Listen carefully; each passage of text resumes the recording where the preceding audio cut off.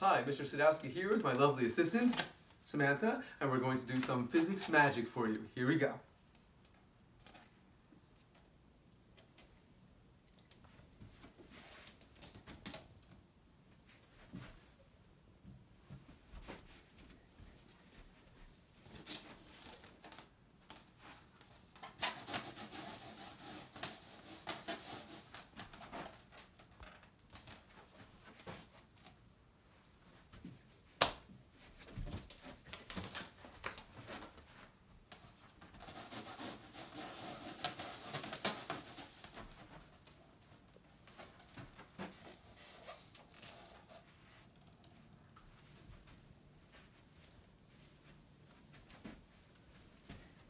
Okay, so let's see.